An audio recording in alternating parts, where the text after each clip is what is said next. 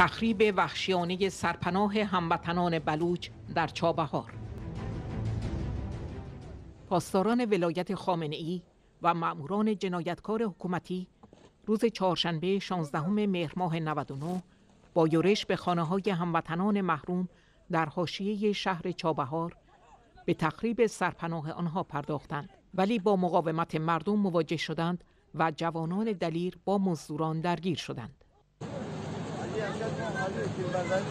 فیلم برداری می‌کنم چرا نکنم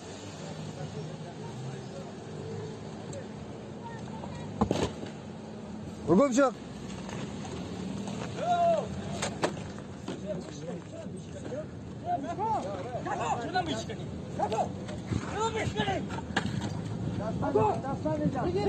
گلت شد